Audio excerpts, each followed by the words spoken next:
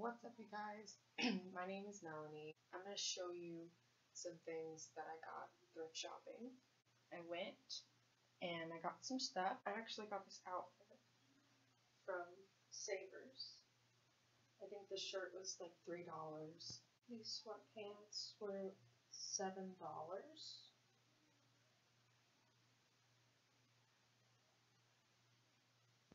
I got these pants. Were in the men's section. They are Arizona, less than five dollars. I just love baggy clothes and baggy jeans.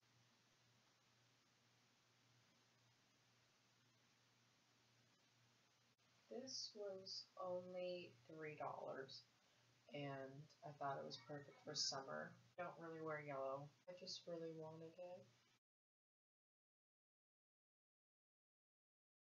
These Nike windbreaker pants were less than $10.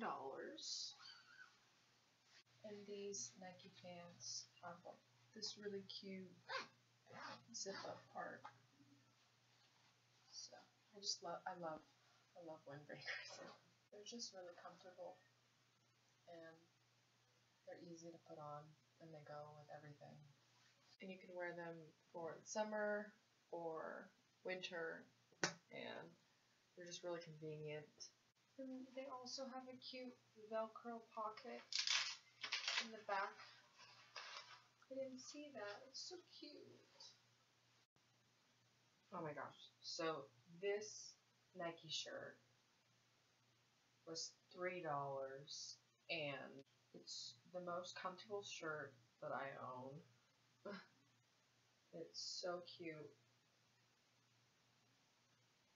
I love soft t-shirts. And $3, like you really can't beat that price. I got this crop top. And it's black. and it's Forever 21. Less than $5.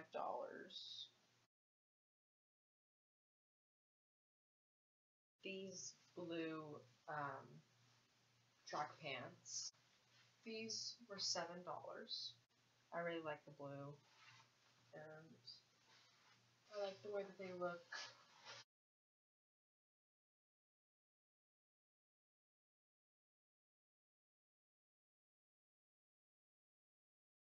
So these other windbreakers I got are the Arizona brand.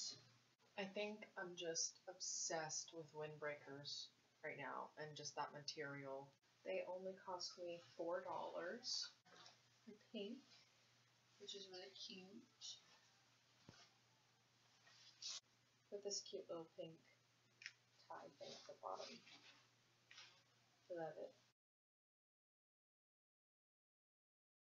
Alright, thank you for watching this video. I had a lot of fun filming it. Um, I should be going shopping again very soon. Subscribe, um, like this if you do, follow my socials, and I'll see you guys next time.